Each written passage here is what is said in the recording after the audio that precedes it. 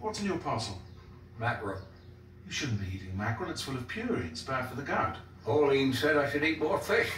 Oh, did she? More fish. Fruit and vegetables, but especially fish. Not that sort of fish. She didn't specify. Oh, didn't she?